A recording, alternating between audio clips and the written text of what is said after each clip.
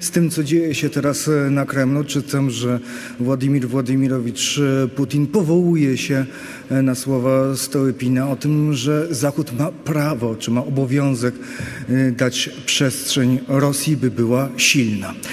Co zrobić z Rosją? To pytanie, które mm, postawię swoim gościom.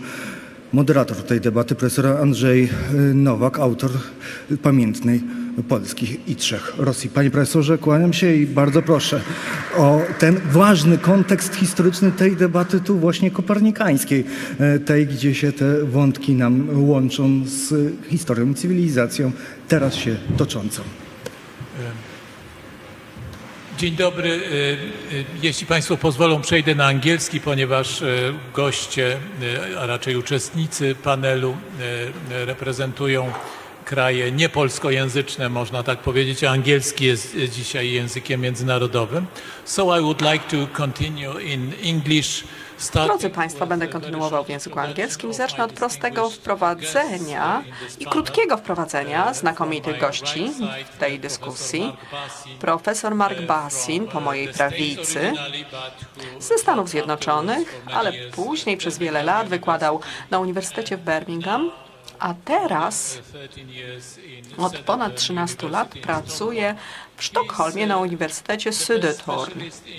Jest najlepszym specjalistą, mm, specjalistą w przestrzennej historii Rosji, jeśli możemy to tak ująć, zwłaszcza jeśli chodzi o ekspansję Rosji w XIX wieku na Daleki Wschód i specjalizuje się w ideologiach, które współczesna Rosja wprowadza w życie, a więc tak naprawdę jego specjalizacja to rosyjskie imperium. Opublikował bardzo wiele nie tylko ważnych, ale przede wszystkim klasycznych podręczników dotyczących tego tematu, szerokiego tematu, od początku XIX wieku albo nawet od połowy XIX wieku, jeśli chodzi o historię rosyjskiej ekspansji na Dalekim Wschodzie, historię podejścia euroazjatyckiego w Rosji i Lew Gumilow tutaj jest najważniejszym ideologiem tego akurat e, nurtu. Profesor Lavkuromia jest przedstawicielem amerykańskiej szkoły historii Rosji. Oczywiście jest wiele, wiele szkół historii Rosji, ale pan profesor reprezentuje jedną z najlepszych, z najlepszych tego e, typu szkół i, i reprezentuje Uniwersytet w, India, w Indianie, w Bloomington. E, studiował przede wszystkim okres Wielkiego Terroru. Niektóre z jego książek przetłumaczono na język polski i jest on również jednym z najlepszych specjalistów, jeśli chodzi o specyficzny temat o, i obszar, a mianowicie Donbas. Opublikował dwie bardzo ważne książki na temat tego regionu e, i jego historię od XIX wieku do końca XX wieku. I jest on również zainteresowany i opublikował właśnie bardzo ważną książkę na temat e, rywalizacji między imperiami w XX wieku, nie w XIX wieku jak Mark Bassin, ale w XX wieku. Cóż, mógłbym jeszcze długo mówić, przedstawiając osiągnięcia moich kolegów. Muszę przejść dalej. I po mojej lewicy siedzi profesor Dariusz Staliunas z Litewskiego Instytutu Historii z Wilna. From Lithuania representing in the best possible way, I would say. Pochodzi z Litwy. Not just Lithuania, but I would say Eastern European or East Central European. I reprezentuje wschodnioeuropejskie podejście do tematu. Wschodnioeuropejską szkołę imperiologii, czy też studiów nad imperium i opublikował wiele książek, wiele książek prestiżowych anglojęzycznych wydawnictwach akademickich, wiele monografii na temat polityki rusyfikacji w rosyjskim imperium. Zwłaszcza w ostatnich dekadach XIX wieku i w początkach XX wieku, jak również badania dotyczące doświadczeń litewskich doświadczeń litewskich w Imperium Rosyjskim, jak również bardzo ważne książki na temat Holokaustu.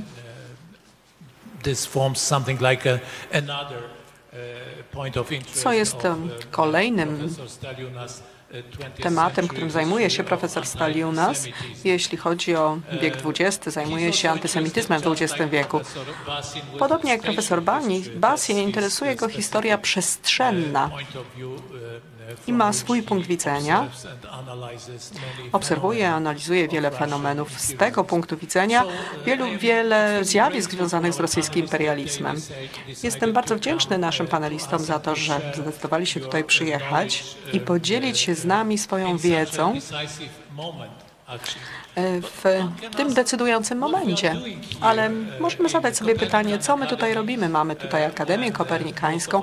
Co w niej robimy? Większość innych paneli jest poświęconych tematom dużo bardziej bliżej związanym z Mikołajem Kopernikiem, a mianowicie z astronomią, medycyną, a także kwestiami ekonomicznymi, finansowymi. Niemniej jednak chciałbym Państwu przypomnieć bardzo krótko, że Mikołaj Kopernik zorganizował obronę jednego z ważnych miast. Allenstein się to miasto nazywało, albo Olsztyn w języku polskim.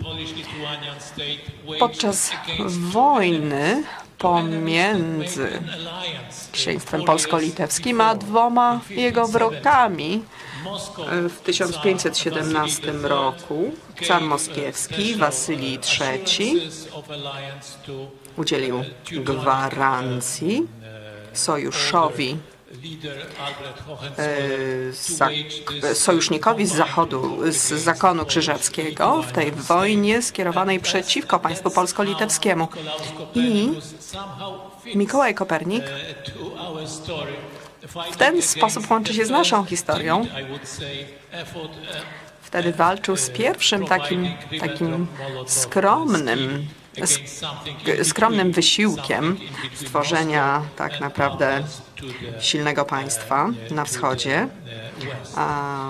Była to potyczka pomiędzy Moskwą a pomiędzy Zachodem.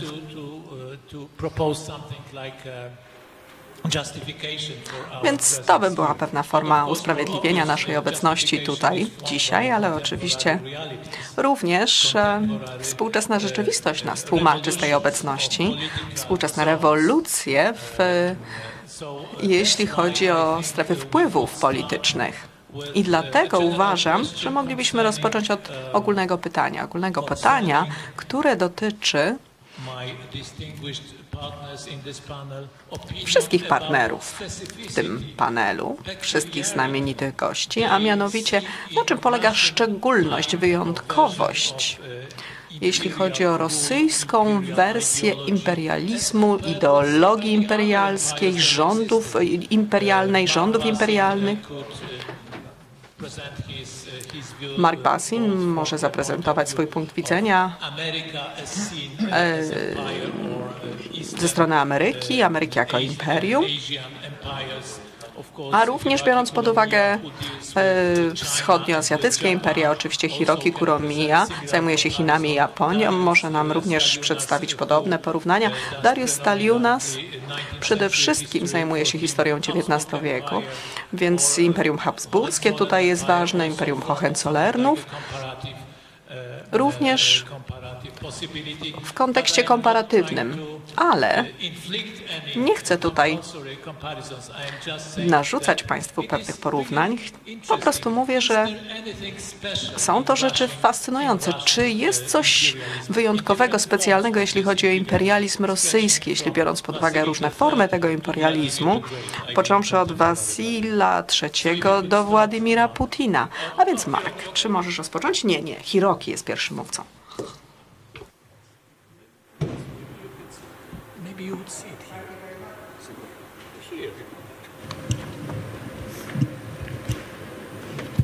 Hello? Yes. Dzień dobry Państwu. Bardzo dziękuję.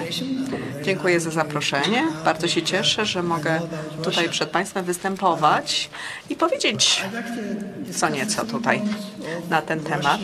Chciałbym mówić o Rosji i o szczególności Rosji, rosyjskiego imperium,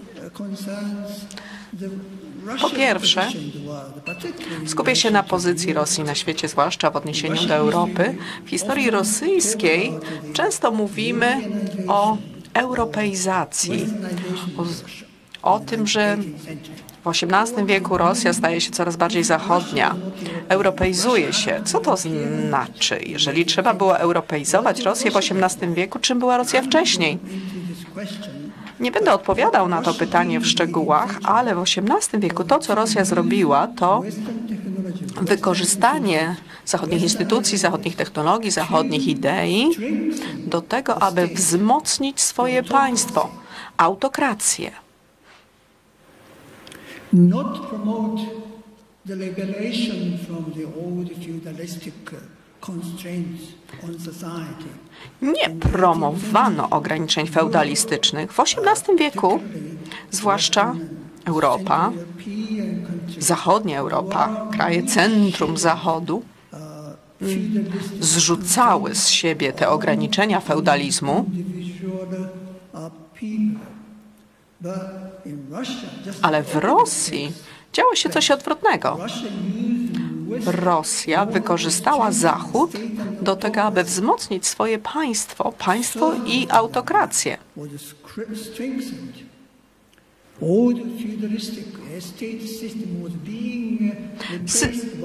stary system feudalizmu został zastępowany przez autokrację ale w Rosji doszło do wykorzystania Europy po to, aby wzmocnić władzę, kontrolę nad społeczeństwem. Jeśli spojrzymy na historię Rosji, to, to nic nie zostało do XVII wieku tak naprawdę ograniczone i indywidualny status był definiowany w ten sposób, że ktoś był albo, e, albo poddanym, albo chłopem, albo, albo mieszczaninem, albo należał do arystokracji. E, I i, i, i tak naprawdę społeczeństwo było niezmienione w tym kształcie i bardzo trudno bardzo trudno jest, jest stwierdzić, że Rosja była krajem europejskim. Oczywiście na te tematy możemy rozmawiać, powiedzieć coś więcej. E, profesor Basin również zajmuje się tymi kwestiami. Kolejna kwestia jest następująca. Imperializm rosyjski, nacjonalizm rosyjski, zwłaszcza jeśli spojrzymy na początek XX wieku, 1909, na, na, na koniec XX wieku, 1991 rok, e, upada Związek Radziecki. Związek Radziecki upada, ponieważ Rosja chce być niezależna od Związku Radzieckiego. Ukraina i, i Białoruś stwierdziły, że chcą być niezależne, niezależne od Związku Radzieckiego. Dlaczego Rosja chciała być niezależna? Niezależna od Związku Radzieckiego. To jest nacjonalizm rosyjski. Rosja uważała, że bez Związku Radzieckiego Rosja poradzi sobie lepiej, osiągnie sukces. Mamy kraje bałtyckie, Ukrainę, Białorusię, Kaukaz, państwa Kaukazu i Rosja im pomaga przetrwać. Jeżeli pozbędziemy się, jeśli jeśli nie będziemy udzielać pomocy tym wszystkim krajom, które już nie należą do Rosji, to Rosja będzie w lepszej sytuacji. Rosja skorzysta na tym. Ukraina uważała, że bez e, wtrącania się Rosji sytuacja na Ukrainie będzie dużo lepsza. Więc tak naprawdę mamy tutaj idee nacjonalistyczne. Ale po upadku Związku Radzieckiego okazało się, że nacjonalizm rosyjski nigdy nie był w stanie pozbyć się tej swojej arogancji, tych ambicji imperialistycznych. I to wszystko wróciło. Wróciło po roku 91 i efekt jest oczywisty. Dzisiejsza wojna. Wojna z Ukrainą. Kolejna kwestia, którą chcę tutaj nadmienić, jest taka. Rosja próbuje, próbuje tak naprawdę grać wyżej niż pozwala jej na to jej waga. To jest taka metafora z boksu, ale rosyjska gospodarka tak naprawdę wcale nie świadczy o imperializmie Rosji. W tej chwili PKB Rosji jest bardzo niskie. Jedno, jedna czternasta może PKB Stanów Zjednoczonych. Niewiele więcej niż 10%. Rosja może być a, a, państwem a, mocarnym, jeśli chodzi o, o broń atomową, ale nie jeśli chodzi o gospodarkę. Tak naprawdę PKB ma porównywalne do Korei Południowej. PKB Rosji jest e, mniejsze niż 20% PKB per capita w Stanach Zjednoczonych. Więc na czym polega ta supremacja Rosji? Mamy tutaj taką ograniczoną siłę tego państwa, które jest supermocarstwem. Czy tak naprawdę w ten sposób jesteśmy w stanie utrzymać te ambicje imperialne, szerokie ambicje imperialne Rosji? Oczywiście można twierdzić, że Dawid wygra z Goliatem, tak, ale potrzebne są określone warunki. Natomiast to, co widzimy tutaj, to Goliat, którym jest Rosja, który nie jest w stanie poradzić sobie z tym Dawidem, którym jest Ukraina.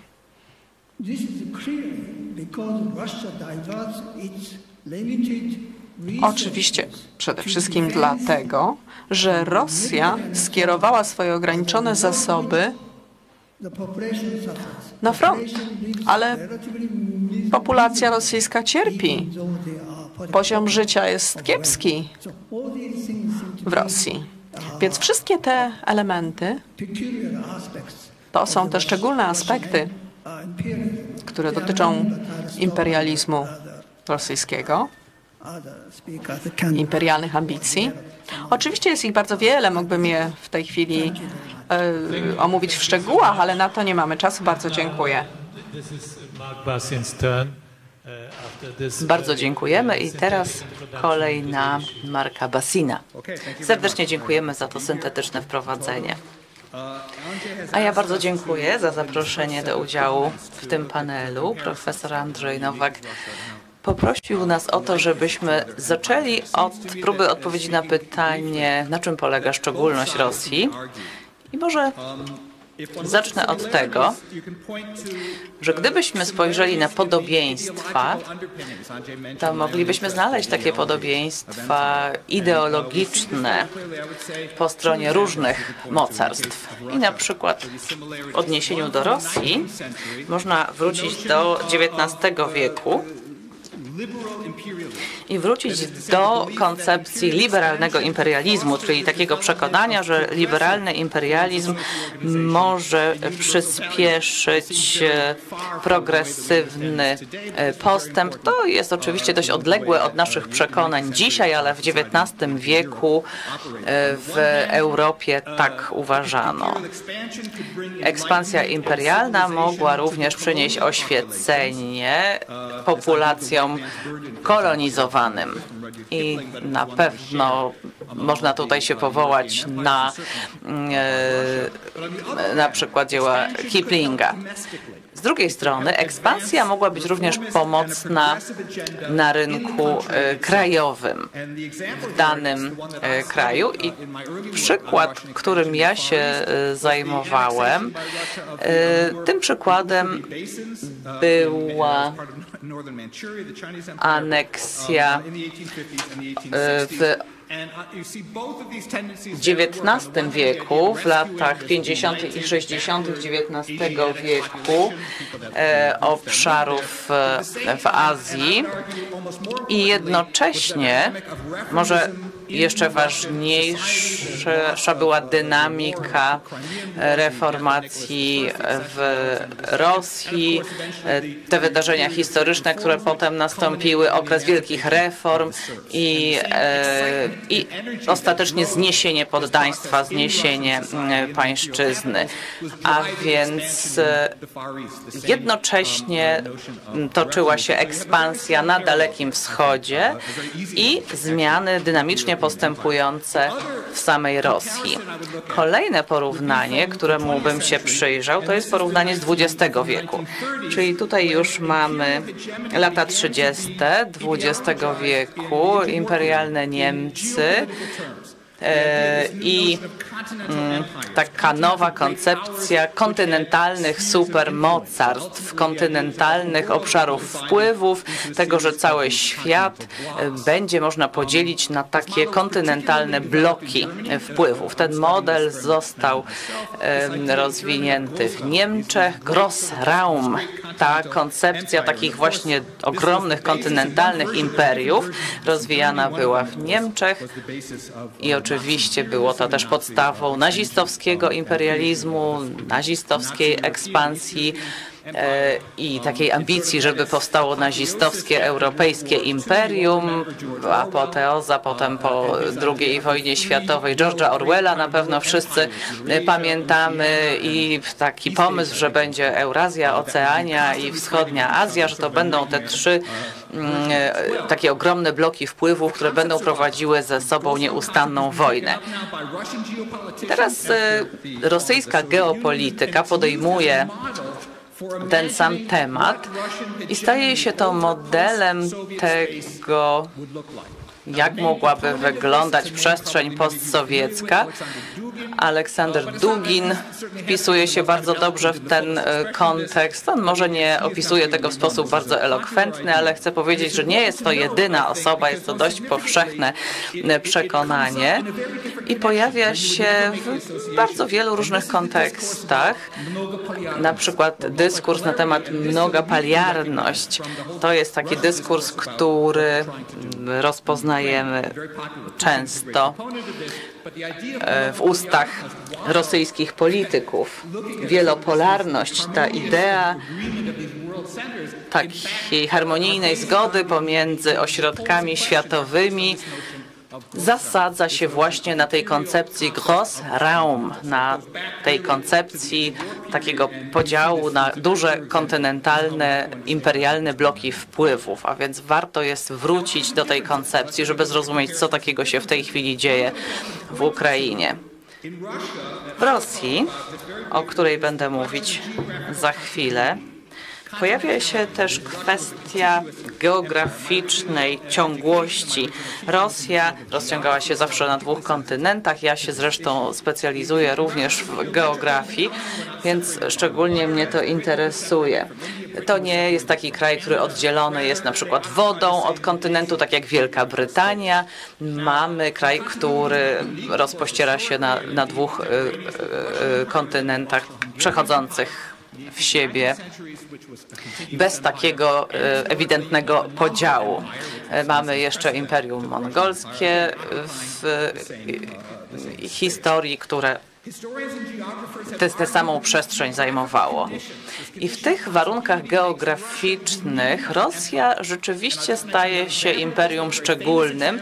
Chcę podać jeden przykład.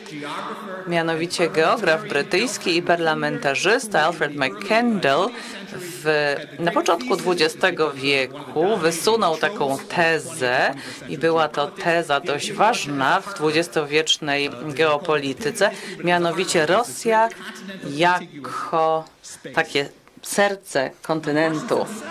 W języku angielskim zostało to nazwane Heartland. A zatem Rosja postrzegana była jako imperium szczególne i tutaj pamiętajmy, że w Rosji ekspansja była procesem naturalnym, stopniowym. Nie chodziło o e, zamorskie podboje, tylko o bardzo stopniowy proces terytorialnej ekspansji. E, nie można mówić o rosyjskim kolonializmie. Myślę, że co do tego Państwo się ze mną zgodzą. A zatem nie mówimy tutaj o podboju obcych kontynentów. Rosja zawsze podkreślała wspólne właściwości tych społeczności, które stawały się pod e, wpływem rosyjskiej polityki, które znajdowały się w rosyjskiej strefie wpływów. Była mowa o tym, że to są tak naprawdę e, te same cywilizacje, że to są cywilizacje, można powiedzieć, sąsiedzkie, że nie są to obce mm, kraje i narody. Wielka Brytania i Irlandia to przecież e, kraje, które bardzo blisko siebie są położone, ale jednak mamy tę wyraźną granicę wodną. W Rosji, jeśli pomyślimy o rosyjskim imperium, o rosyjskiej strefie wpływów, nie ma takich ewidentnych granic. I ten konflikt w Ukrainie warto również wpisać właśnie mm, w tę koncepcję takiej stopniowej, naturalnej ekspansji. Do tego jeszcze potem wrócę. Przez wieki w Rosji dwa istotne społeczne i polityczne procesy toczyły się równolegle. Ekspansja oraz tworzenie narodu. A zatem również dzisiaj Naród rosyjski identyfikuje się z imperium. Trudno jest nam to zrozumieć, trudno jest nam w ogóle postrzegać wojnę w Ukrainie z perspektywy rosyjskiej. Bardzo trudno jest nam się w tym rozeznać. Być może jest to wręcz niemożliwe. Natomiast nacjonalizm w przypadku rosyjskim bardzo często można po prostu traktować na równi z imperializmem. Można postawić znak równości między nacjonalizmem i imperializmem. Bardzo dziękujemy. Dariusz. Bardzo dziękuję. Dziękuję za zaproszenie tutaj e, na tę debatę oraz prowadzenie mojej osoby, przedstawienie sylwetki. To, co powiem, będzie odmienne od tego, co zrobili moi koledzy, ponieważ chcę wrócić do XIX wieku. Ale mam proste pytanie. Chcę je zadać sobie i innym uczestnikom.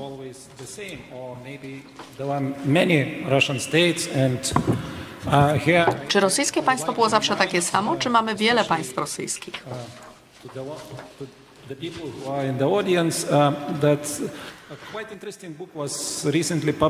tym z Państwu, którzy są tutaj na widowni, chcę powiedzieć, że niedawno Ronald Tsuni i Donald Kinnelson, dwóch historyków, opublikowało bardzo ciekawą publikację na temat rosyjskiego imperium,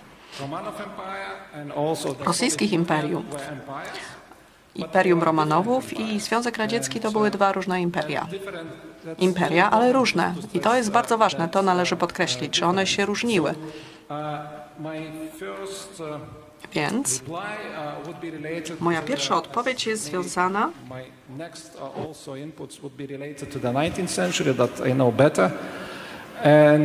z XIX wiekiem. XIX wiek wiem, znam lepiej.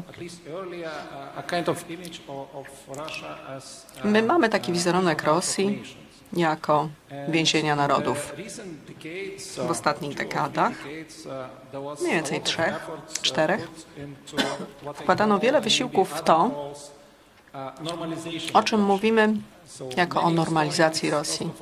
Wielu historyków w Rosji, przede wszystkim, ale również w Stanach Zjednoczonych, również na zachodzie Europy, robili co mogło, aby pokazać, że Rosja jest normalnym imperium, normalnym w porównaniu z imperiami w XIX wieku, które działały podobnie.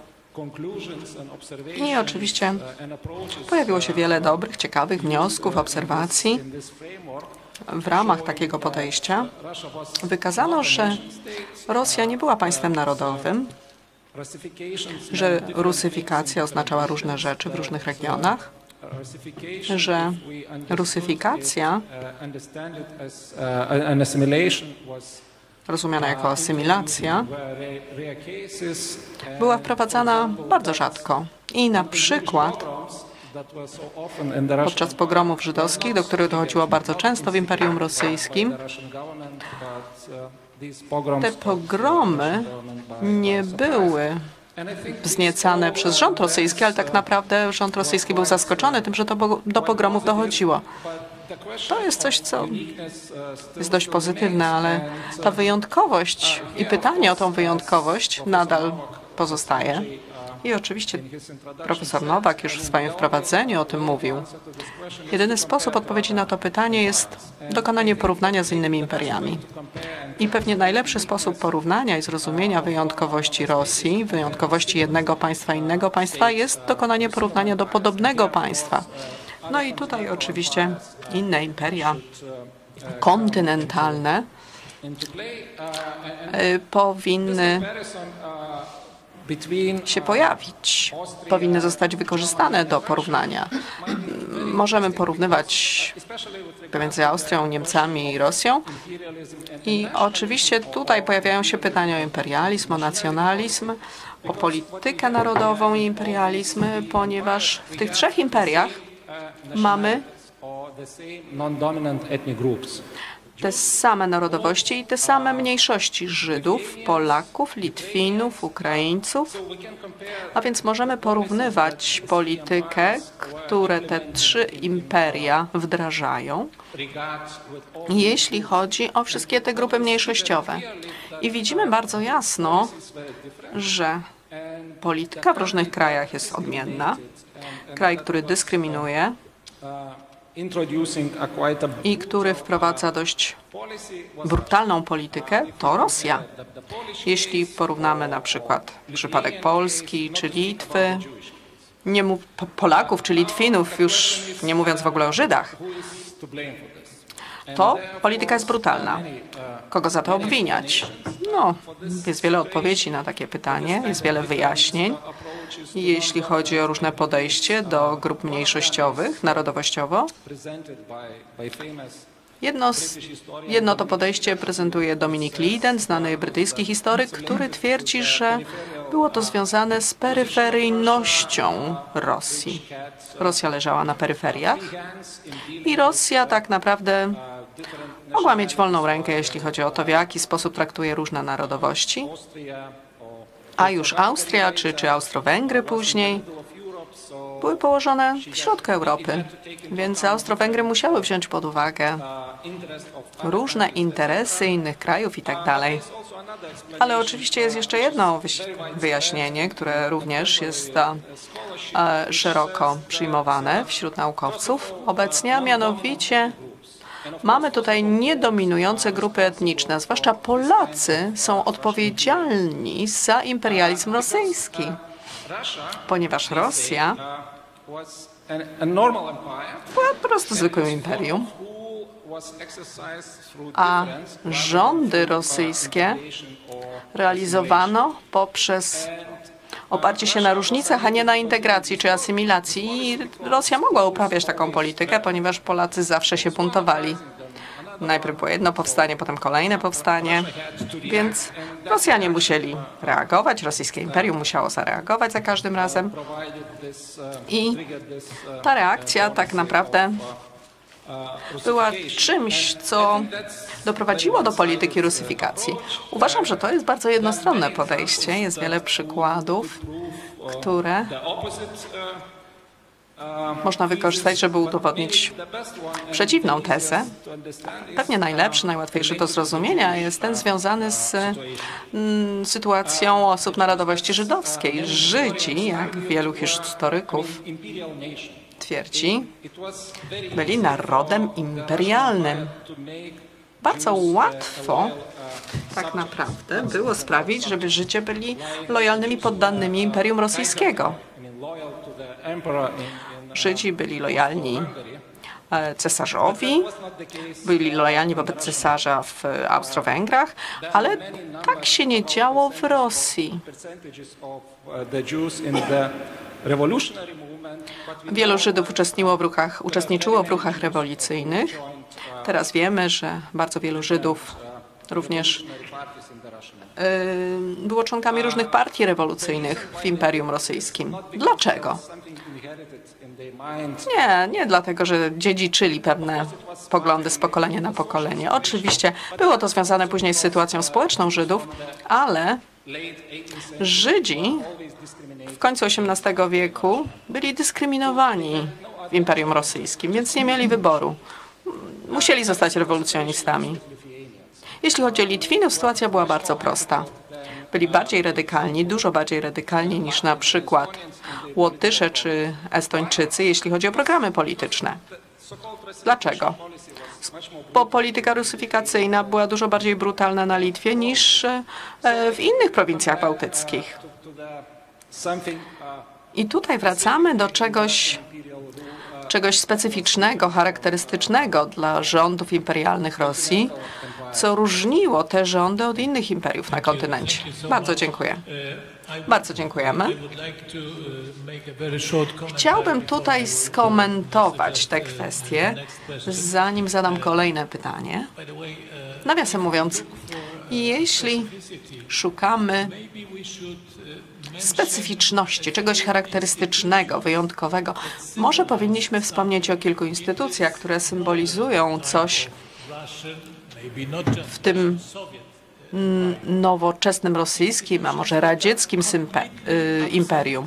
Instytucje, których nie ma. Nie ma w tych, nie pojawiają się one w ogóle w tych ostatnich syntezach Wilkensona i, i kolegów. Nie ma tam mowy o Czeka, o KGB, o GPU, GRU. Te instytucje w ogóle się tam nie pojawiają. W tej syntezie nie ma o nich mowa. Ja uważam, że to jest coś ważnego w historii Imperium Rosyjskiego w XX wieku, czy też radzieckiego imperium, jeśli nie chcemy mówić o tym imperium jako o imperium rosyjskim, ale to, to, jest, to są ważne instytucje.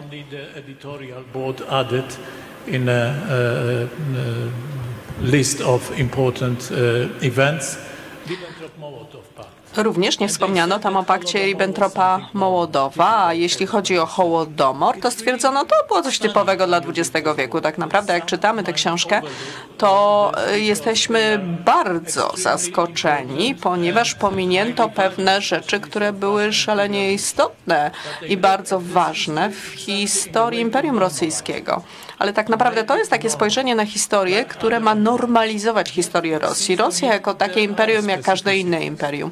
Nie, są pewne cechy charakterystyczne jest coś, co wyróżnia to imperium. Oczywiście nie mamy czasu, żeby tutaj na ten temat wypowiadać się szeroko i spierać się, bo są różne opinie na ten temat, ale uważam, że Jedna kwestia, poruszona tutaj przez Marka, to jest kwestia, którą warto by rozwinąć, ponieważ rozwijał Władimir Putin w dzisiejszej swojej przemowie, a mianowicie Imperium Rosyjskie to jest imperium progresywne które wyzwala innych.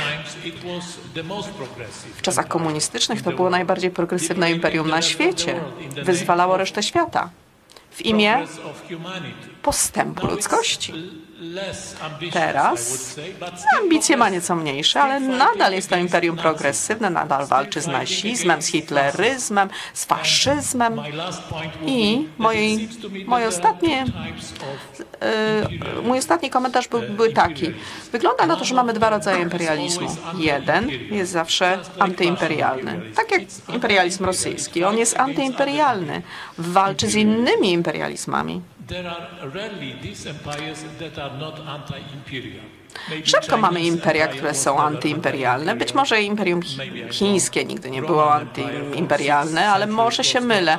Rzymskie imperium przez pewien czas było, nie było antyimperialne. Zajmowało się sobą.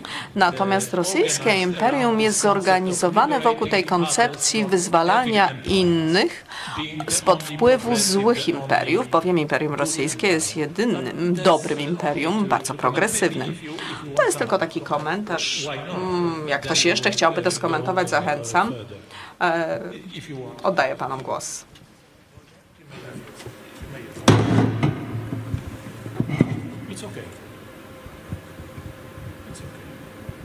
Hello? Yes. I, I, I think uh, China's case is a bit special. Myślę, że przypadek chiński jest nieco szczególny. Pytanie, czy Imperium Chińskie było antyimperialne? Oczywiście tak, bo przecież Chiny były kolonizowane przez zachodnie mocarstwa. A zatem, jeżeli wrócimy e, w czasie, to jak najbardziej można powiedzieć, że ta retoryka antyimperialna była stosowana, ale oczywiście zachowano milczenie co do imperialistycznych ambicji Chin. Tutaj mówimy teraz o próbie powrotu do tego historycznego imperium. A zatem przypadek chiński wydaje mi się szczególny. Chiny i Rosja, moim zdaniem, to jedyne imperia, które starają się wrócić do sw sw swojego historycznego kształtu siłą. Ponieważ wszystkie pozostałe imperia zrezygnowały z tej historycznej koncepcji i przetrwały. Czyli udało się odrzucić tamte wcześniejsze, historyczne, kolonialne modele. Chiny i Rosja w tym względzie się różnią. Faktycznie można powiedzieć, że nacjonalizm rosyjski i imperializm rosyjski to jedno i to samo. Również e, w przypadku e, Chin czy Japonii można mówić o podobnym procesie. Natomiast Rosja jest jedynym krajem, który próbuje wracać do tych starych sposobów, do tych dawnych imperialistycznych ambicji i do walki o przeszłość siłą, do walki zbrojnej. I to jest ten konflikt, który obserwujemy w Ukrainie. Bardzo dziękujemy za te uwagi. Myślę, że to nas bardzo pięknie sprowadza do kolejnego pytania, które chciałem zadać wszystkim panelistom. I ciekawe jest to, co tutaj padło, że mianowicie mamy te dwa imperia, które jeszcze nie zrezygnowały o walkę, walkę zbrojną, walkę siłą o te swoje wcześniejsze historyczne terytoria. I okazuje się, że to jest to najciekawsze terytorium, to jest ten obszar pomiędzy Chinami i Rosją. Ciekawe. Ciekawie będzie się przyglądać temu, jak Chiny e, zareagują na te imperialistyczne zapędy Rosji. Być może jeszcze do tego wrócimy w ostatniej rundzie pytań. Natomiast teraz chciałbym przejść jeszcze do zachodniej części Imperium Rosyjskiego i chciałbym zapytać e, panów o o, o to, jak istotne są zachodnie części Imperium Rosyjskiego w zakresie rozwoju tej imperialistycznej ideologii. Czyli proszę spróbujcie odpowiedzieć na pytanie o to, jak ważna jest Ukraina w kontekście rosyjskiego imperializmu. Możemy tutaj mówić o XVIII, XIX, XX wieku. Ukraina oczywiście była krytyczna. Rosja nigdy nie rozpoznała e, ta, takiego e, administracyjnego, niezależnego obszaru jak Ukraina. Noworosja, taką nazwą się przecież posługiwano. W XIX wieku zakazano literatury ukraińskiej, próbowano całkowicie wymazać język ukraiński. Koncepcja takiego poddaństwa utrzymywała się bardzo długo. Russia attaches enormous significance to Ukraine because Rosja właściwie nie przywiązywała dużej wagi do odrębności Ukrainy, ponieważ Rosja uważała zawsze, że Kijów to jest tak naprawdę zaranie e, naszej cywilizacji. Często mówimy o Rusi Kijowskiej i kiedy doszło do rozpadu Związku Radzieckiego, to ta Ruś Kijowska nagle znalazła się poza Rosją. To było dla Rosji bardzo bolesne. I dlatego Rosja próbowała do, dojść do, ponownie dotrzeć do tego źródła własnej cywilizacji. I pamiętajmy, że również e, stolicą kościelną był Kijów. Co więcej, pamiętajmy, że e, w Kijowie również e, miał swoją siedzibę ortodoksyjny kościół. I oczywiście ta struktura kościelna jest bardzo złożona. Ja tego nie jestem w stanie objaśnić na przestrzeni kilku minut. Natomiast dla Rosji Ukraina zawsze była szczególna. I myślę, że Rosja nie jest w stanie zrezygnować z Ukrainy. Natomiast w 1991 roku, kiedy rozpadł się Związek Radziecki, Rosja uznała niezależność Ukrainy wraz z Polską i Kanadą. Czyli w tym momencie Rosja zrozumiała, że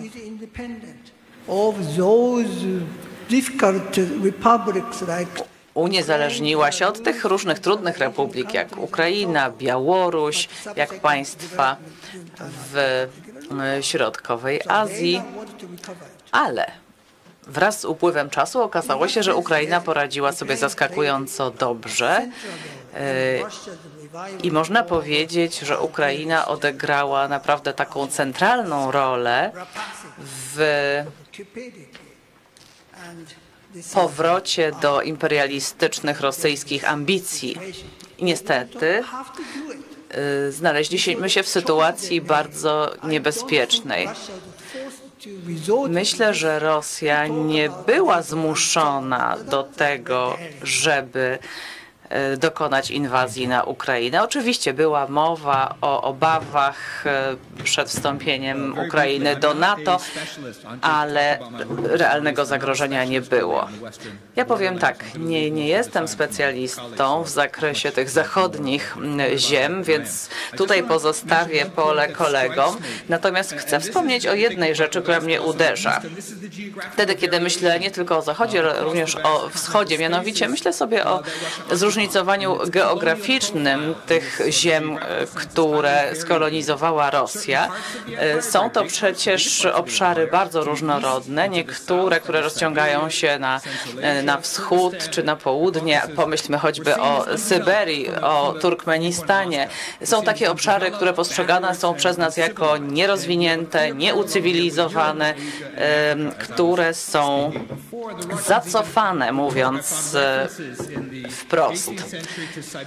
I w XVIII wieku mówiono o Syberii, że to są takie nasze małe Indie.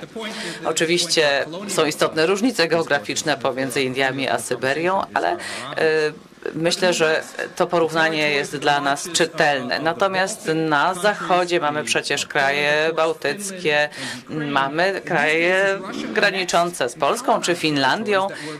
I tutaj Rosja graniczy z ziemiami już bardzo e, cywilizowanymi, zachodnimi, a zatem ta przestrzeń zajęta przez e, Imperium Rosyjskie jest bardzo, bardzo zróżnicowana. Mamy taki gradient cywilizacyjny, o którym możemy mówić, czyli trochę zacofane e, wschodnie mm, obszary, następnie e, obszar centralny Imperium Rosyjskiego i najbardziej rozwinięte obszary zachodnie. I wydaje mi się, że ta osobowość imperialistyczna Rosji e, zakorzeniona jest również w tej różnorodności. i fascynująca dla mnie jest taka idea, że rozwijając te zacofane kolonie na wschodzie, Rosja może sama w sobie się rozwinąć.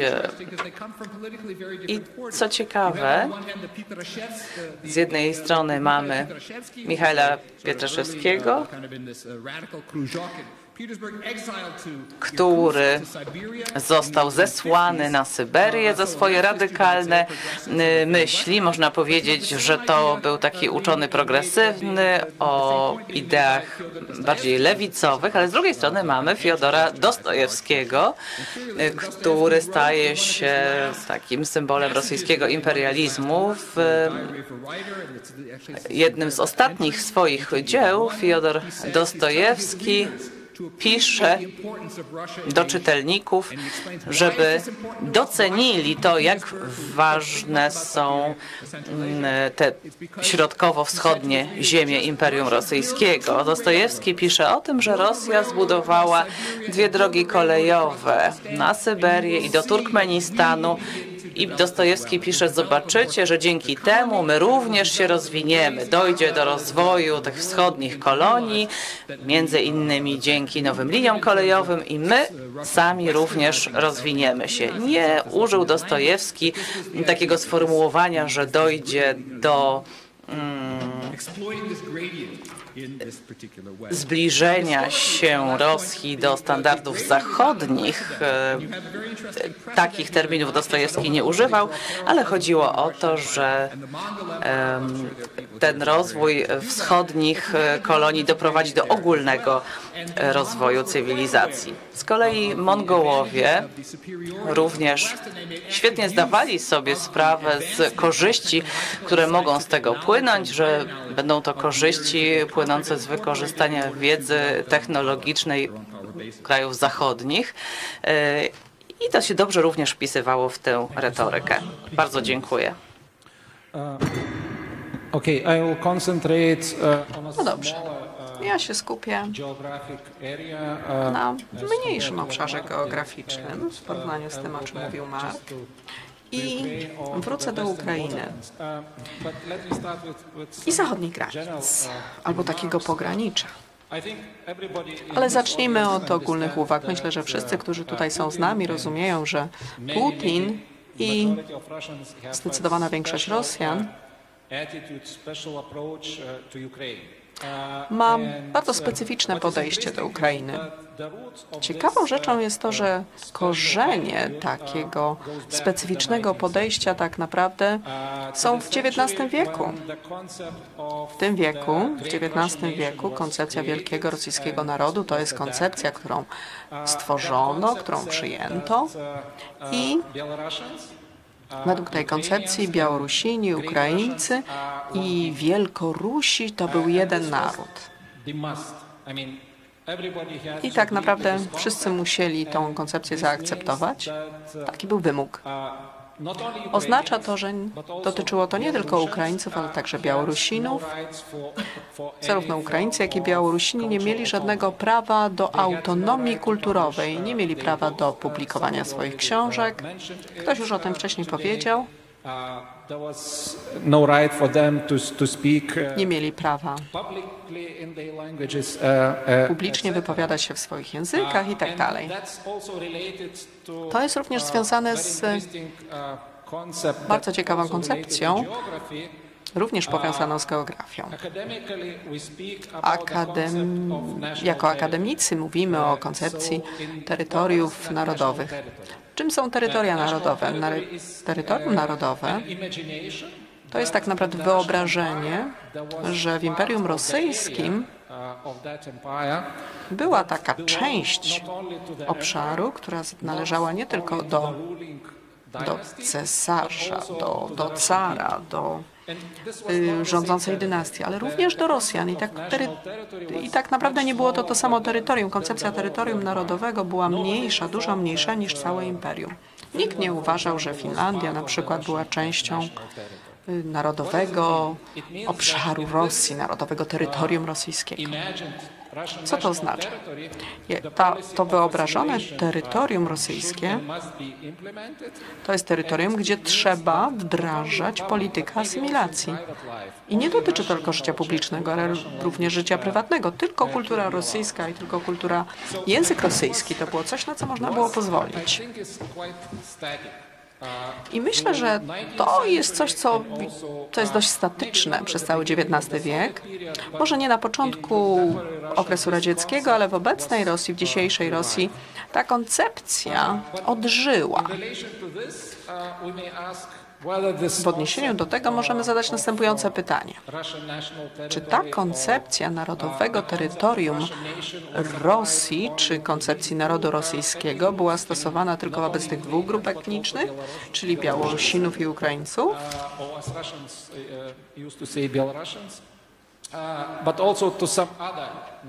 a może również do innych mniejszości Litwinów, Łotyszy, Estończyków.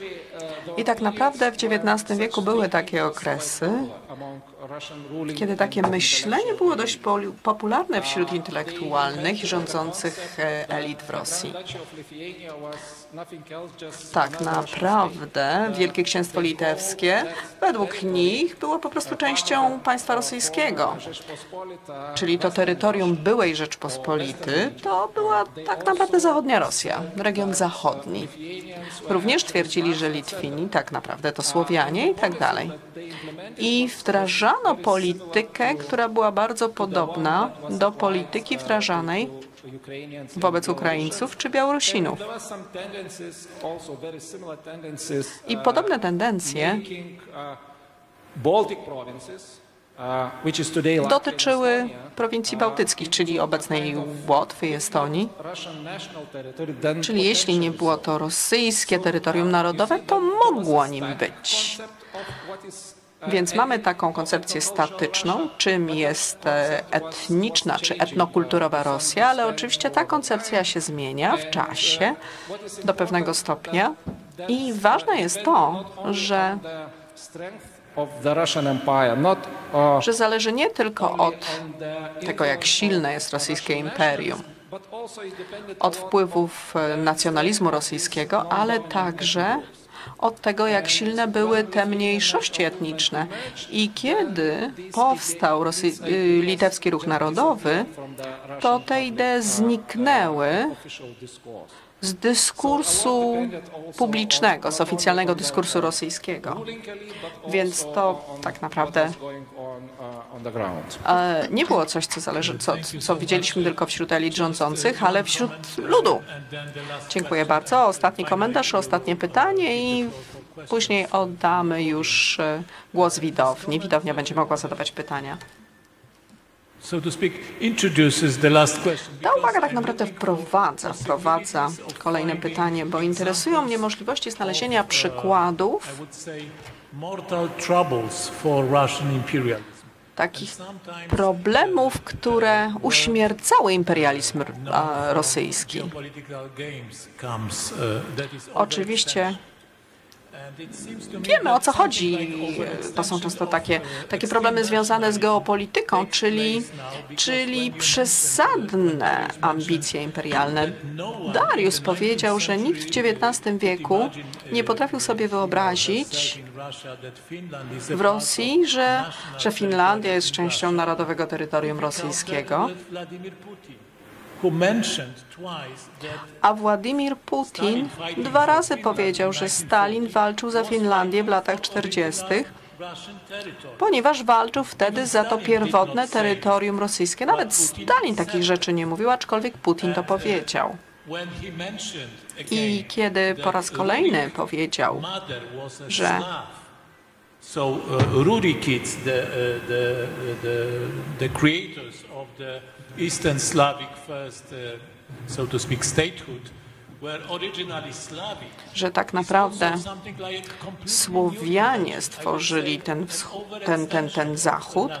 Tak naprawdę ja bym powiedział, że to jest, e, like to jest e, wynaturzenie nacjonalizmu. Tak naprawdę jest to taki, taki balon, który, który dmuchamy, aż, aż, aż wybucha.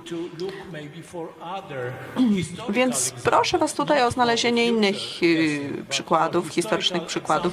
Nie mówimy tutaj o przyszłości, nie chcemy zgadywać, jak będzie wyglądała przyszłość, ale jak to wyglądało w przeszłości? Co zatrzymywało imperializm rosyjski? Bo były takie momenty, gdzie udało się zatrzymać imperializm rosyjski.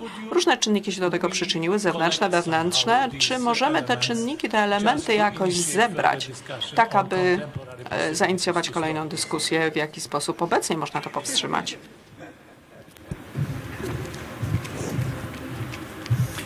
Uh, uh, yeah, yes. Uważam, że gdybym znał odpowiedź, uh, don't byłbym liderem światowym, no ale nie mam takich ambicji. Myślę, że podstawowe pytanie brzmi tak. Czy Rosję należy upokorzyć? Prezydent Macron się pewnie ze mną nie zgodzi, ale ale rosyjski naukowiec, który pracuje w Stanach Zjednoczonych, tak twierdzi. On powiedział, że Rosję należy upokorzyć na Ukrainie. not been humiliated enough. 1991 Rosja nie została wystarczająco upokorzona. Upokorzona 91 rok nie był upokorzeniem według Putina, tak, ale nie, to nieprawda. Rosja chciała stać się niezależnym krajem, niezależnym od Związku Radzieckiego. To nie było upokorzenie.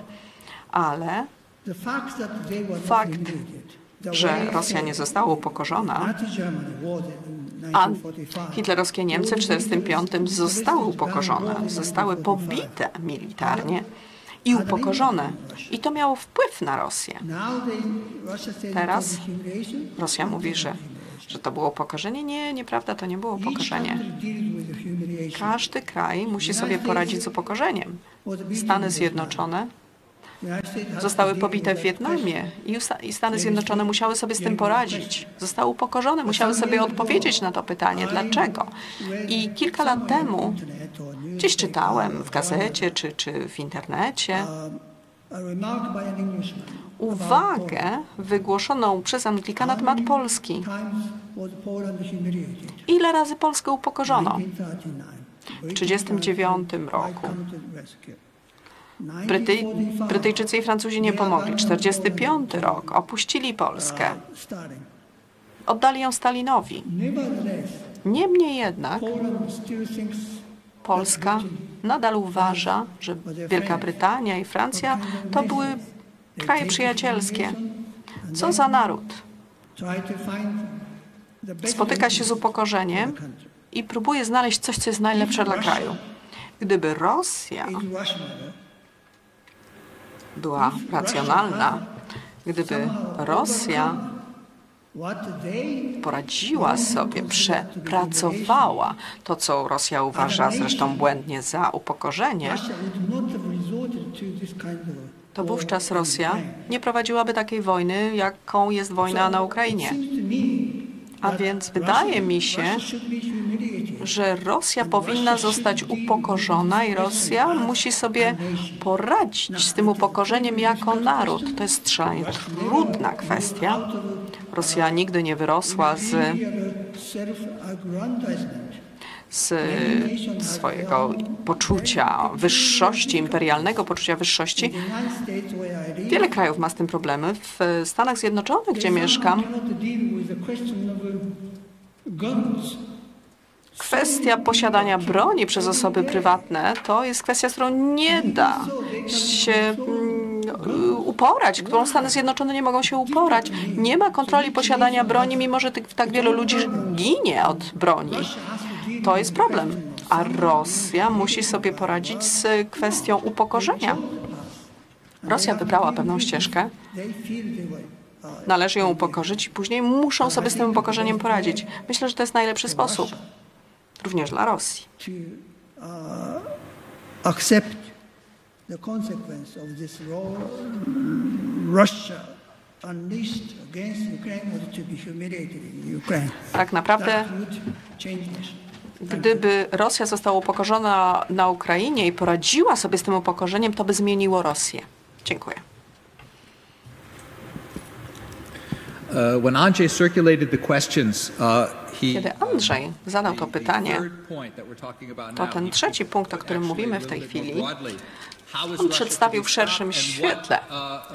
Jak zatrzymać Rosję?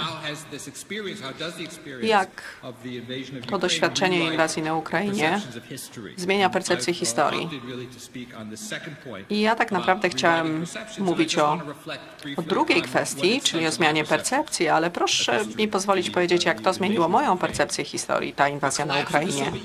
Upadek Związku Radzieckiego zmienił bardzo wiele rzeczy, ale wiele elementów się nie zmieniło. I stały par, stary paradygmat rosyjski czy, czy radziecki to przetrwanie i inwazja rok temu dla mnie była takim katarzis, takim oczyszczeniem. Można się było skupić dokładnie na czym to przetrwanie polega. Nie zmiana, zmiana była ważnia, ważna wcześniej, ale w tej chwili mamy przetrwanie i mamy tutaj trzy cechy, które są istotne, które chcę powiedzieć, a mianowicie mamy dalej trwanie autokracji, tradycji autokratycznej. Mamy władcę, który jest głównym źródłem władzy. Nie ma innych źródeł władzy, nie ma innych centrów władzy, nie ma proletariatu, nie ma społeczeństwa obywatelskiego. E, I system Putina, który zaczął się rozwijać od 1991 roku, e, rozwijał się w tym kierunku i w tej chwili coś jest jasne, co nie było jasne wcześniej, a mianowicie, że jest to system, gdzie nie jest wymagane poparcie ludu. Można go utrzymać poprzez pasywną obojętność. Ta obojętność ostatecznie oznacza akceptację i jakąś tam formę poparcia. Kolejna kwestia, którą chcę tu zauważyć, to jest przetrwanie nacjonalizmu, ale nacjonalizmu imperialnego. To to egzystencjalne połączenie pomiędzy narodem a imperium w Rosji. W XXI wieku to wyraża się w nieco inny sposób. Nie widzimy to te, tego tak, jak tradycyjnie to rozumiemy. Mówiłem o tym wcześniej. W XIX wieku były nowe zdobycze terytor terytorialne. Imperializm oznaczał zdobycie nowych lądów, nowych baz, zdobycie Turkmenistanu, y, Azji itd. Obecnie to był XIX wiek. W XX wieku oczywiście mieliśmy ekspansję. De facto nie chodziło o terytoria, ale o wpływy polityczne. Więc po 1945 roku mamy ekspansję, ekspansję Rosji e, w Europie Wschodniej. To też jest pewnego rodzaju imperialna ekspansja. I obecnie mamy imperializm rewanżystyczny, czyli chcemy ponownie ustanowić kontynuację tego sojuszu rosyjsko-niemieckiego nad tym obszarem i przede wszystkim chodzi tutaj o obszar Związku Radzieckiego, więc mamy taki neosowiecki, neoradziecki projekt imperialny, który dotyczy byłych republik radzieckich. I te stare tradycje trwają to the Russian popular consciousness. I podobają się Rosjanom. Oczywiście nie akceptuję tego, że mamy tutaj kod genetyczny, że Rosjanie są zaprogramowani na imperializm. Nie. Napisałem książkę na ten temat, odnosiłem się do tego, co mówił Gumilow w swoich publikacjach. Ja nie akceptuję tego, tej genetyczności imperializmu, ale widzimy tutaj, um, że imperializm jest istotny w zachowaniu Rosji. I wracam do pierwotnego pytania, które zadaliśmy. Chodzi o porównanie z innymi imperiami. W jaki sposób Rosja radzi sobie z utratą imperium? Z rozpadem Związku Radzieckiego w 1991 roku? Myślę, że można na to odpowiedzieć na dwa sposoby. Z jednej strony wszystkie te imperia z XX wieku, wszystkie te kraje tak naprawdę straciły y, tereny i one negocjują swoją postimperialną tożsamość.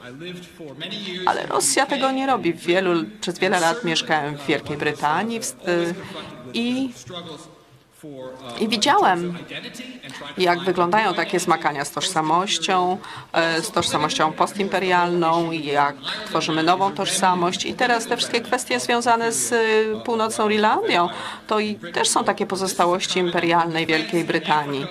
E, Francja miała kolonie w Afryce i widzimy podobne rzeczy w, we Francji, ale Nacjonalizm imperialny, jeśli chodzi o Rosję postsowiecką, jest trudny.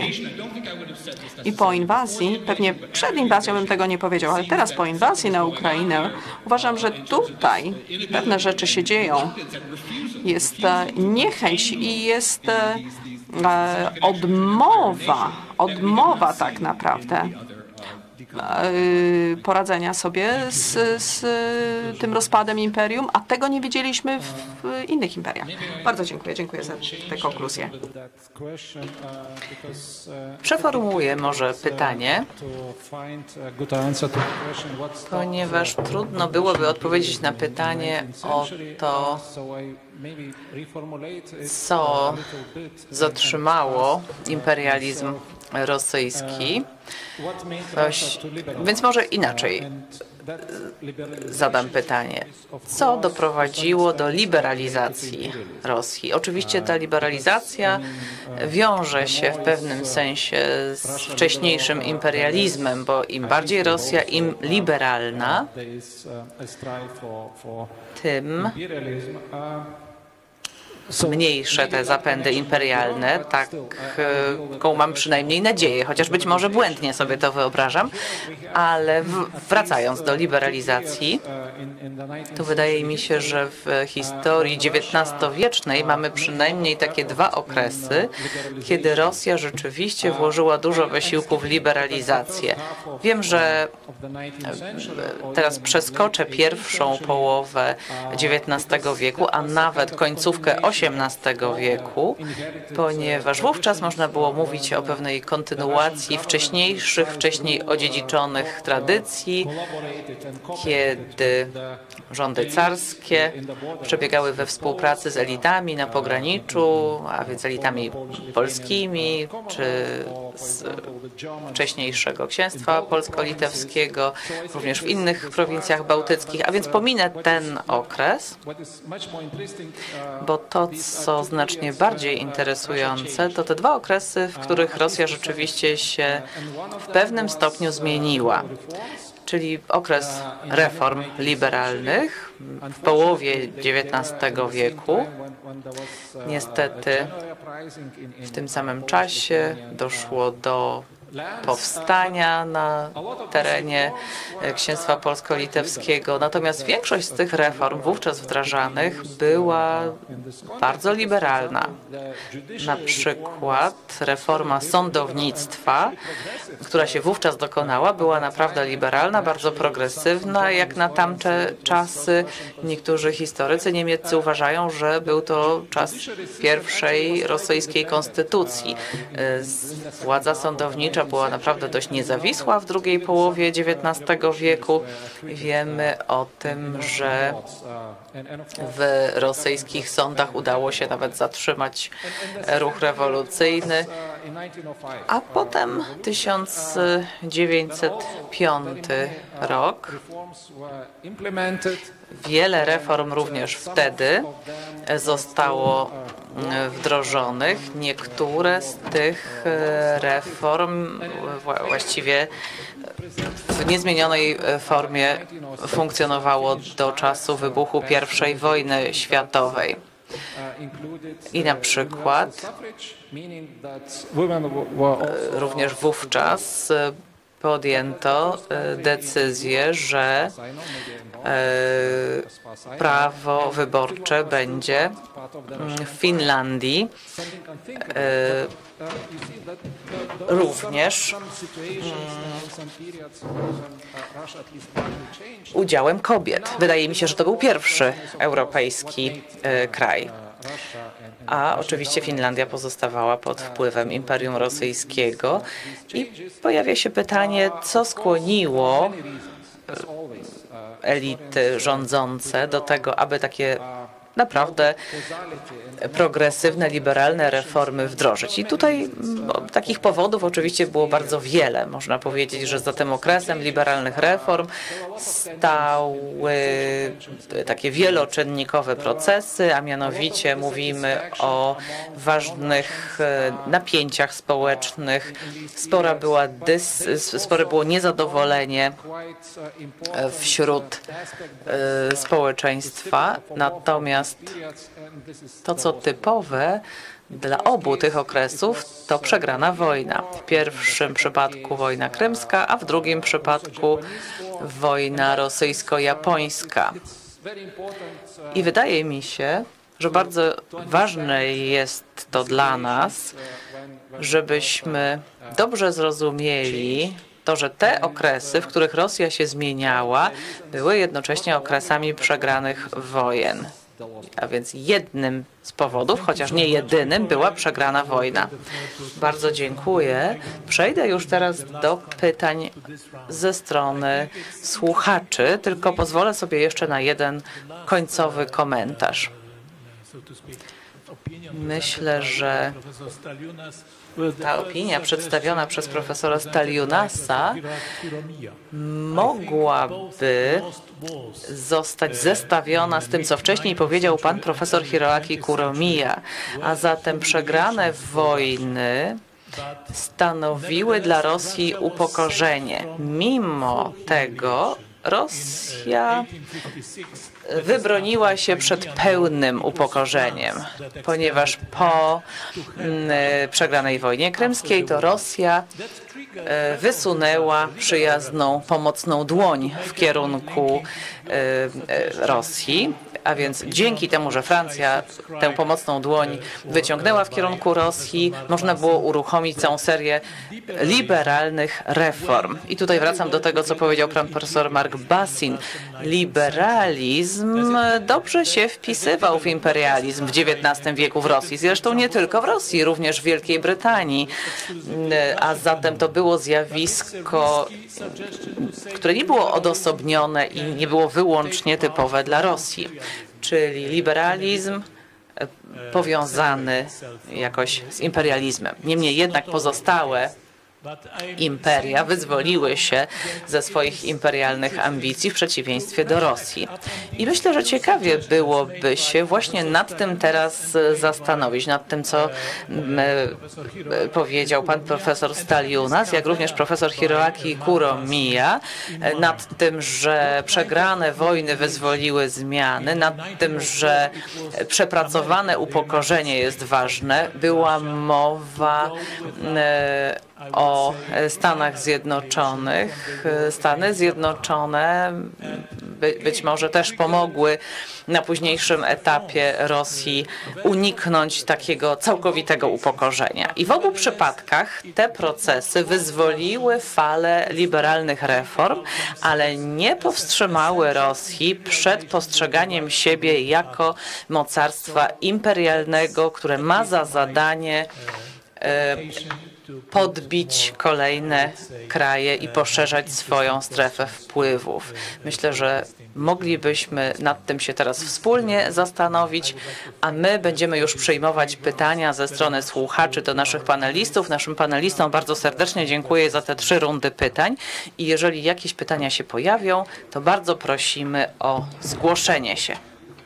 Prosimy również o przekazanie mikrofonu osobie wypowiadającej się.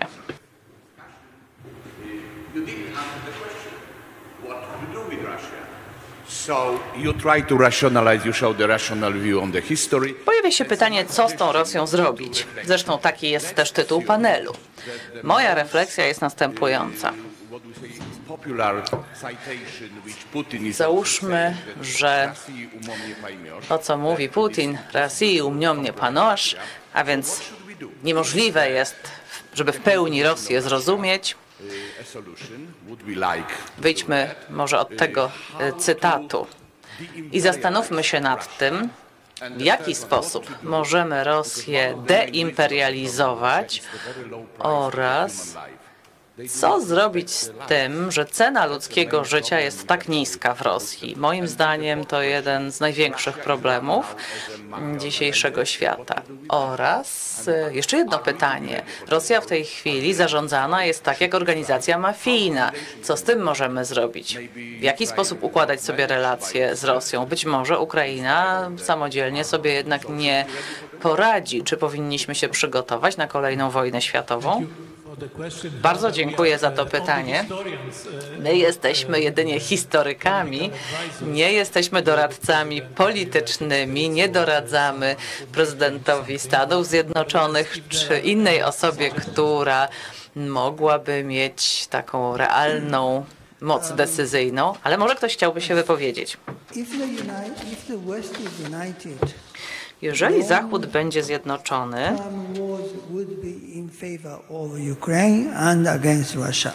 to taka e, długotrwale utrzymująca się wojna będzie jednak działała przede wszystkim na niekorzyść Rosji.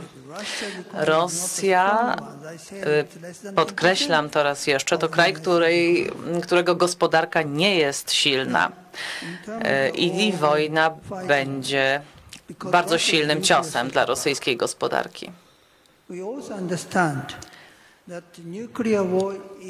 Wiemy oczywiście, że wojna jądrowa jest wojną niszczącą wszystkich, jest wzajemnie destrukcyjna.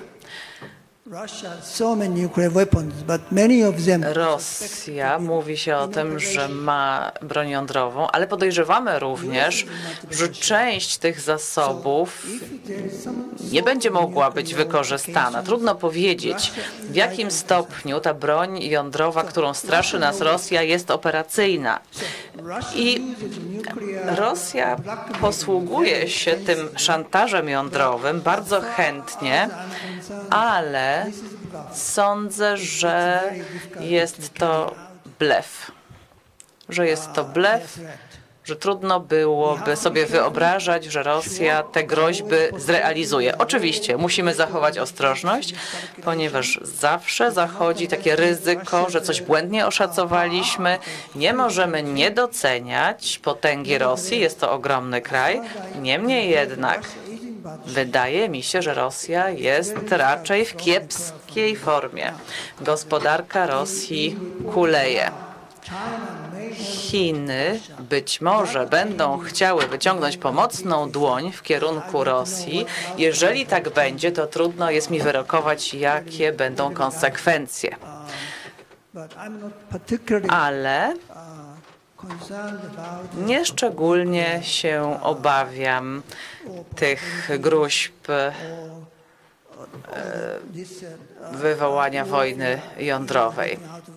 Nie sądzę, żeby to się tak bardzo wymknęło spod kontroli Zachodu, ale oczywiście mogę się mylić. Czy? Okay. Uh...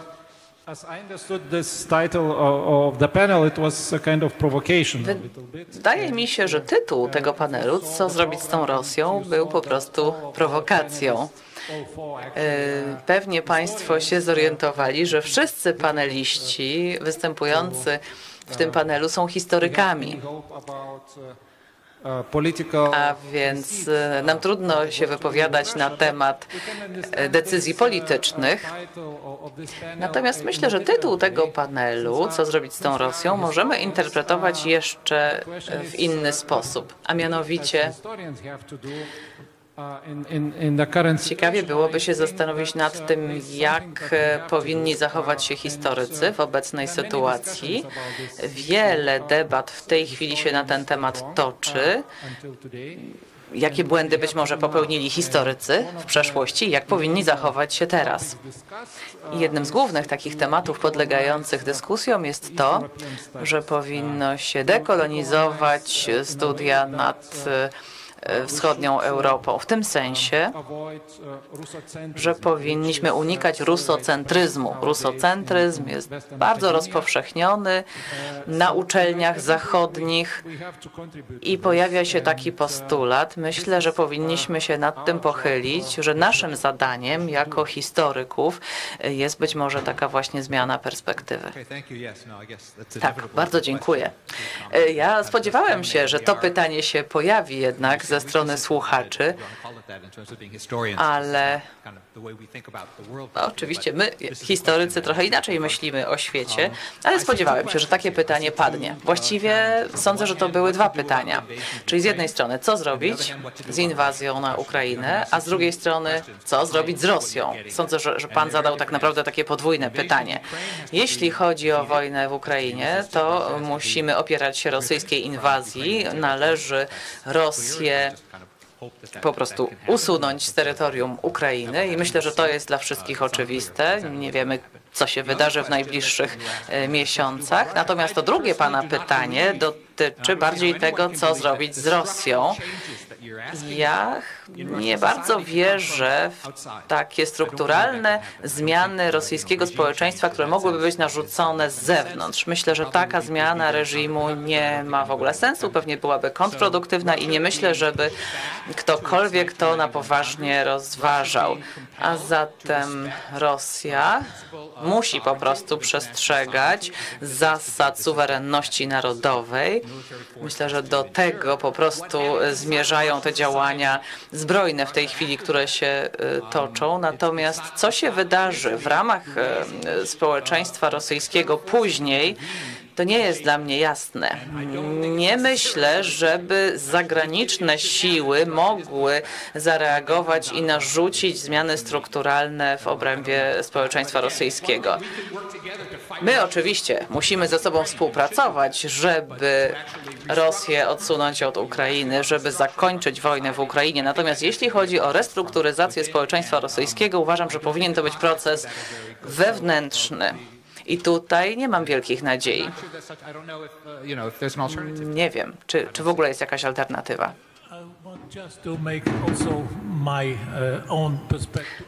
W takim razie ja dodam jeszcze własną perspektywę, która się jakoś odnosi do tego ostatniego e, argumentu.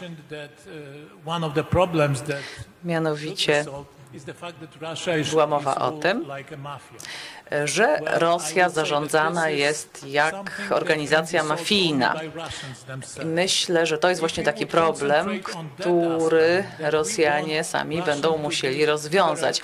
Bo jeżeli my chcemy, żeby Rosja była państwem liberalnym e, i chcemy to narzucać z zewnątrz, e, to nie będziemy nigdy działać skutecznie, bo możemy oczywiście całe swoje wsparcie okazać Nawalnemu, który ma właściwie podobnie imperialistyczne ambicje co Putin.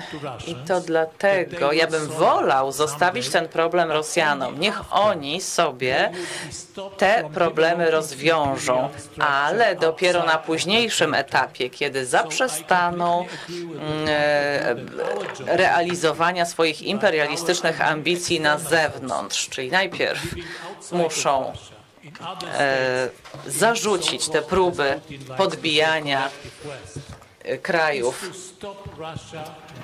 ościennych. Musimy powstrzymać Rosję w jej zakusach imperialistycznych, bo kiedy uda nam się Rosję powstrzymać w tym zakresie, a dotychczas zawsze się Putinowi udawało i to właśnie przesądza o jego popularności. To jest człowiek sukcesu.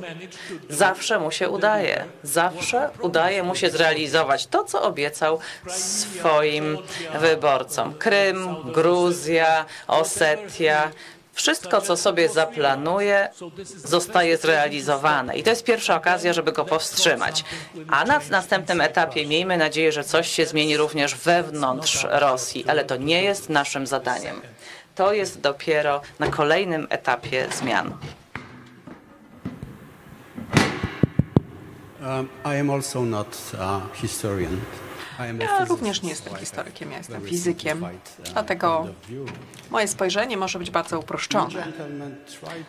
Panowie próbowali zarysować to, skąd pochodzi imperializm rosyjski, ale ja uważam, że jest on dużo starszy niż XVIII czy XIX wiek.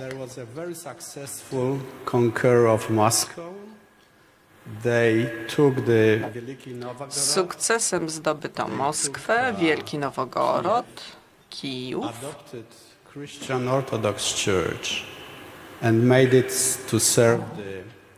Zmuszono Kościół e, chrześcijański, wschodni Kościół ortodoksyjny e, do carowi, do służenia imperium. Car w XVIII-XIX wieku Był bardziej Rosją niż sam kraj. I car był traktowany prawie jak Bóg. Batiuszka był zawsze dobry, a ci, co służyli, byli źli. Ci, co jemu służyli, byli źli. Uważam, że imperializm rosyjski jest przykładem inżynierii społecznej, którą przeprowadzono ze, z ogromnym sukcesem. To wcale nie jest przekaz, nie jest rzecz przekazywana w genach, ale udało im się e, wprowadzić go do umysłów. I na tych umysłach ten imperializm wywarł tak ogromny wp- wpływ, że może robić, co mu się żywnie podoba. Dobrze, to może poczekamy jeszcze na kolejne pytania, a później ewentualnie będą komentarze od pan panelistów. Dzień dobry. Powiedzieli panowie, że upadek Związku Radzieckiego był postrzegany jako coś, co Rosję cieszyło. Rosja chciała się pozbyć tych innych krajów radzieckich. Ale nikt nie mówił tak naprawdę o tym, że, że utrata Związku Radzieckiego wówczas była tym e, upokorzeniem Rosji. Na Zachodzie bardzo wiele mediów tak pisało i zastanawiam się, czy przypadkiem teraz Rosja już nie cierpi z powodu kolejnego upokorzenia, a mianowicie wojny na Ukrainie, której jeszcze nie wygrała, nie udało jej się wygrać. A więc jest wiele różnych upokorzeń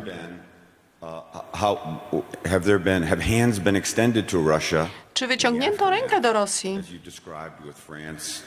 tak jak wyciągnięto tę rękę do, do Francji czy do Stanów Zjednoczonych, y, czy, czy wyciągnięto rękę do Rosji, mówimy tutaj o wojnie na Krymie,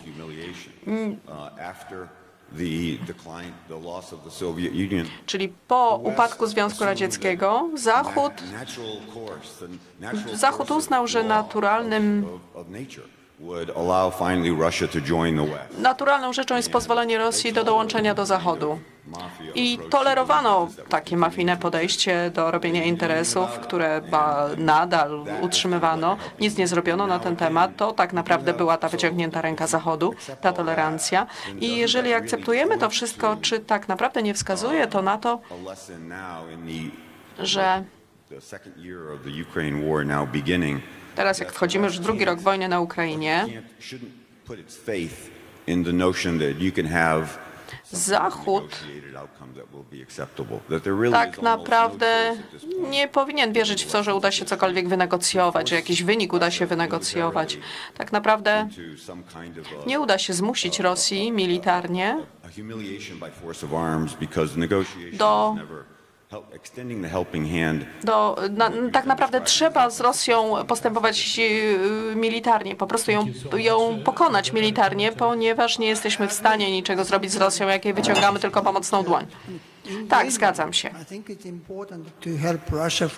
Ostatecznie uważam, że ważne jest, aby pomóc Rosji Poradzić sobie z- z porażką y, w takiej wojnie. I ja uważam, że Rosja zostanie całkowicie pobita, zostanie po prostu, um, musi wrócić do swoich y, granic w 1991 roku, jestem tego pewien.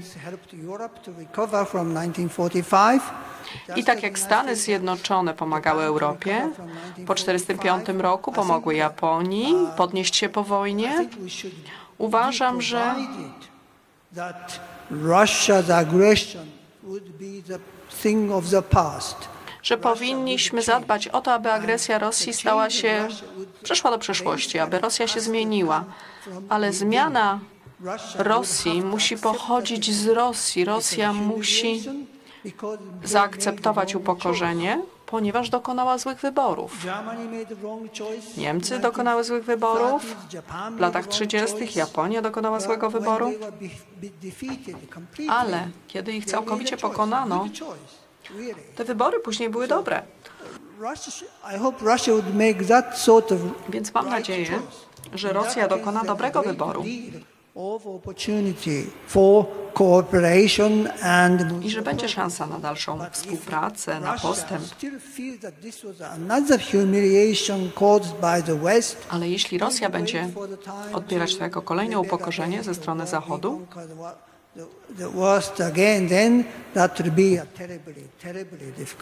to wtedy znajdziemy się w strasznych warunkach i nie wiem wtedy, co Zachód powinien z tym zrobić w takim przypadku. I said that uh, there was nothing that the uh, Powiedziałem, że problems of Russia have to be solved internally, and the implication tak naprawdę was just said that there's wewnętrzne no problemy Rosji należy rozwiązać i tego się nie robi. Russia has been expelled from uh, Ukrainian territory and been compelled to acknowledge the, this, this I krótko po the powrocie 1991 granic do normalnego stanu z, the z roku to do. 91 It's not true, actually. What the West might Rosja tak naprawdę powinna uznać te granice. Its own democratic bona fi- bona fides, uh, to not let uh, authoritarianism uh, take root in the Naprawdę powinniśmy zadbać o to, aby taki autorytaryzm nie rozwinął się ani tam, ani, ani na Zachodzie. I powinniśmy unikać wybierania przywódców i partii, które uznają reżim Putin Putina i którego wspierają. Uważam, że jeśli interesują nas wyzwania i to, co możemy zrobić, to właśnie to możemy zrobić. Uh, uh, Ale zmiany muszą zajść w Rosji, wewnątrz Rosji. Jedna ciekawa rzecz, którą tutaj wspomniano.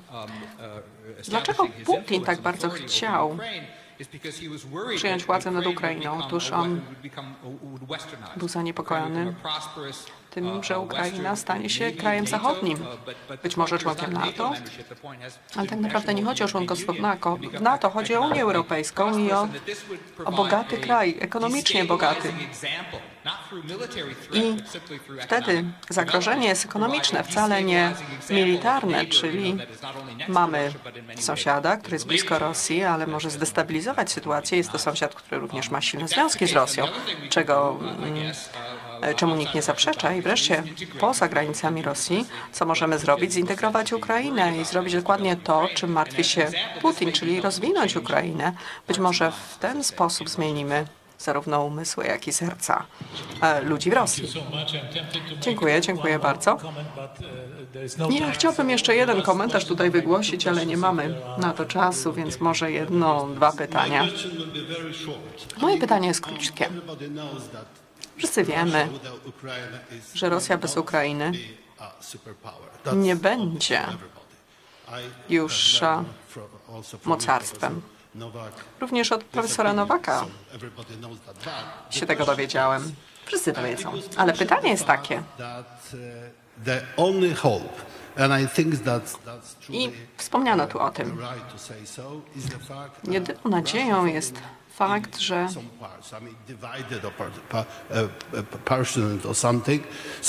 że Rosja for the future of this country which was so oppressed? jest podzielona. Więc czy są jakieś szanse na jakąś przyszłość dla tego kraju, który tak naprawdę prześladował, prześladował wiele narodów, wiele krajów, nas, Polaków, Litwy. Litwini i Polacy tak naprawdę od początku XVI wieku zmagają się z Rosją, Rosją jako zagrożeniem.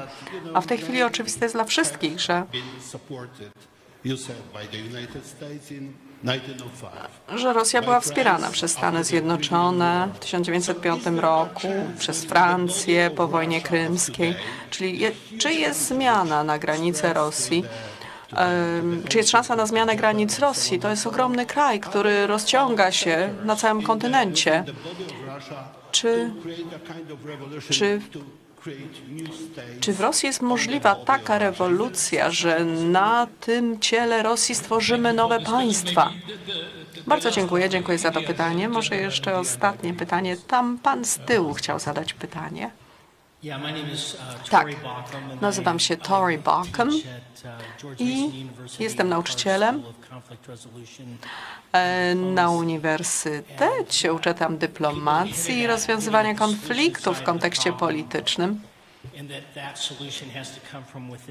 Tutaj mówimy o rozwiązaniu, rozwiązaniu, które ma pochodzić od Rosji, z wewnątrz Rosji. Z. Wspomnieliśmy o patriarchach, o kościele ortodoksyjnym, tu, w którym jest mowa na temat świętej wojny. I biorąc pod uwagę cały ten imperializm rosyjski, ten imperializm ma tak naprawdę również napęd teologiczny, napęd religijny w pewnym sensie. Co Państwo sądzą na ten temat? Czy chrześcijaństwo można skierować, czy chrześcijaństwo może być tak, takim,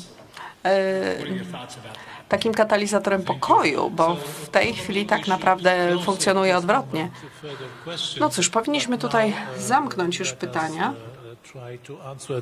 Może spróbujmy odpowiedzieć na te, dwie, na te dwa pytania, poruszyć te dwie duże kwestie, które tu podniesiono. Ja może odpowiem na pytanie dotyczące Kościoła.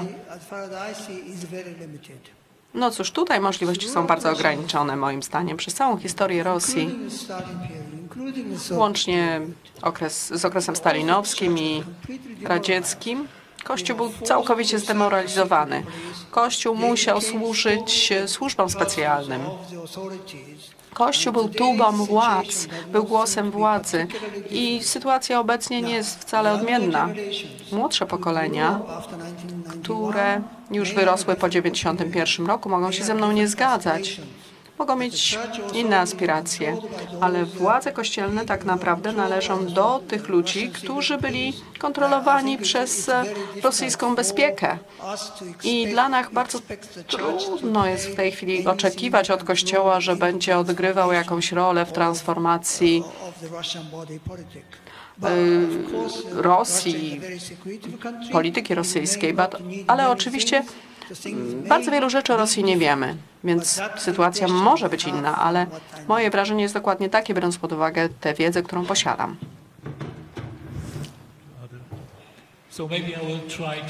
To, może ja spróbuję odnieść się do pierwszego pytania. Jeśli dobrze zrozumiałem, pytanie dotyczy możliwości regionalnego buntu skierowanego przeciwko uh, centrum władzy least, uh, we współczesnej Rosji. Tak, uh, about pojawiły się pewne idee dotyczące secesji, na przykład secesji Syberii. Nie wiem? Na ile rozwinięte są te ambicje wśród e, ludzi mieszkających za Uralem? Nie jestem w stanie odpowiedzieć na to pytanie, ale oczywiście mamy tutaj taki, taką presję z dwóch stron. Nie chodzi tylko o władzę centralną w Moskwie, ale również jest presja ze strony Chin. Niemniej jednak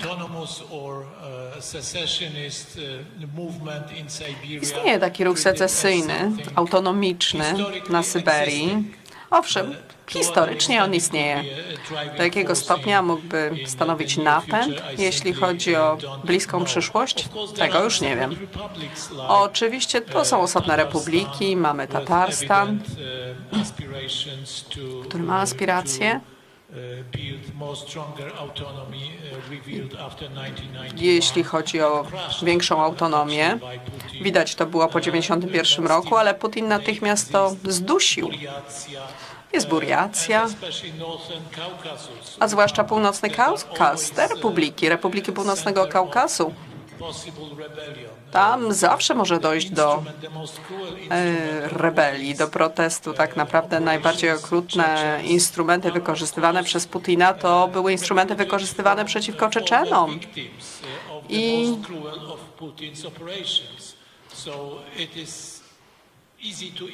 i tak naprawdę łatwo sobie, przynajmniej mnie, wyobrazić coś takiego jak bunt, bunt tych, e, tych żołnierzy Putina z Czeczni przeciwko Putinowi w momencie, kiedy Putin zacznie przegrywać na wojnie. Bo tych najemników Putin wziął właśnie z Czeczenii. To są ważne źródła buntu, ale na ile one są ważne, na ile one mogą być skuteczne, tego już nie wiem. Wiem jednakże, że ta kwestia jest brana pod uwagę przez władze z tak zwanego narodowego punktu widzenia. Niebezpieczeństwo to upadek Rosji. Jeśli przegramy tę wojnę przeciwko Zachodowi na Ukrainie, znikniemy z mapy. I to jest taki szantaż ideologiczny albo przestrzenny. I często jest stosowany nie tylko przez Putina, ale także przez innych ideologów, którzy myślą w ten sposób. Dlatego waham się w ocenie skuteczności takiego rozpadu Rosji. Ponieważ rozpad może działać na dwa sposoby, tak naprawdę jest w stanie wzmocnić. Tą decyzję Rosji, że należy walczyć do ostatniego żołnierza. Czyli tak jak powiedział Mark Basin, Walczymy o imperium, które bardzo trudno jest e, oddzielić od narodu. Pytanie było trudne i dlatego to ta moja odpowiedź jest taka skomplikowana. Jeśli chodzi o drugie pytanie, powiedziałbym, że i to całkiem poważnie, powiedziałbym, że jeśli ktoś jest wierzący, powinien wierzyć w cuda. To jest moja prywatna odpowiedź na to pytanie. Moim zdaniem to byłby cud, gdyby wschodni kościół ortodoksyjny albo jego wierni mogli odegrać skuteczną rolę w liberalizacji, nie ideologicznej, ale, ale ogólnej liberalizacji Rosji. Ale no cóż, cudy się zdarzają, więc miejmy taką nadzieję. Dziękuję drodzy Państwo, dziękuję za tę dyskusję panelową, dziękuję naszej widowni, dziękuję naszym panelistom.